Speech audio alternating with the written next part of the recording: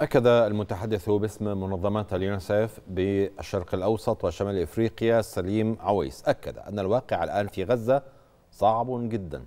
وأن هناك أكثر من 96% من السكان بشكل عام في قطاع غزة يعانون من مستويات انعدام الأمن الغذائي وأكثر من نصف مليون شخص يواجهون مستويات كارثية. نشد المتحدث باسم منظمة اليونيسيف بالتحرك وإيقاف هذه الحرب وكذلك وقف إطلاق النار وإعطاء الفرصة للعاملين في القطاع الإغاثي والإنساني للوصول إلى كل الأماكن لتقديم الخدمات.